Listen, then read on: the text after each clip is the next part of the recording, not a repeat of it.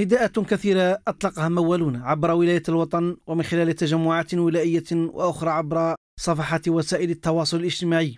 لإيصال صرخة إلى وزارة الفلاحة علها تجد حلولا قبل ضياع ماشيته.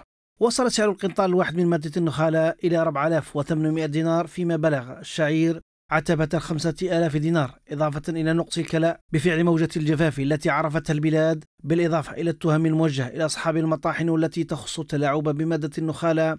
أسباب جعلت مربي الماشي يلوحون بإضراب وطني لإيجاد حلول عاجلة لإنقاذ الثروة الحيوانية. الموالة مادام راهم يعني تشكو الأعلاف كلش لخاطر هو كان الدعم تاع يعني يعطوهم دائما.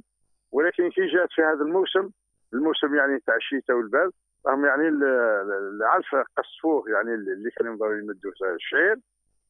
والماشيه راهي طالبة يعني بها الاعانه في هذه هذو شهرين. تاع الشتاء ها؟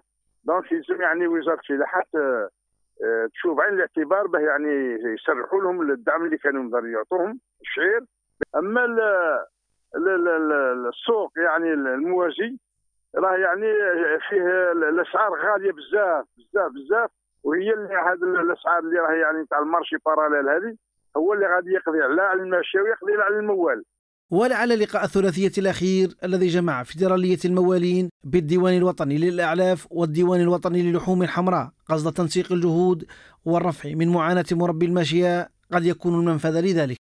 البرنامج تاع الحكومة باللي عندها علاقة ثلاثية ما بين الموال وما بين المذابح الصناعية والوناب. الموال يعني يضمن يعني يدفع الانتاج تاعه. الشيء اللي يقدر عليه ماهوش ماهوش بيسيب عليه كاع الانتاج مي الشيء اللي يقدر يساهم يساهم. والمذابح الصناعية والوناب يضمنوه في, في الأعلاف والتسويق تاع الماشيه نتاعه.